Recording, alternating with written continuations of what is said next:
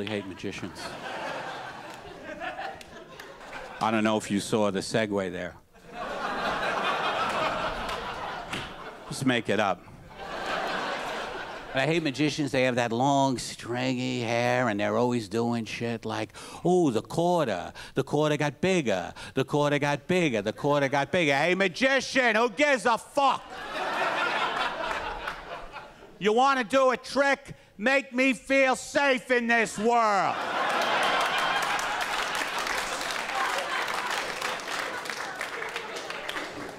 but they can't do that. They can't do that shit. They're always they're always just doing stuff like, oh, the dove, the dove came out of the hat. Where did it come from? Maybe you brought it. That's my fucking guess.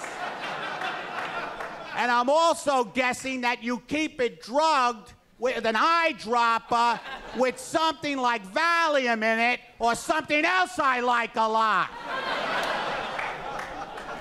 you keep those poor things drugged.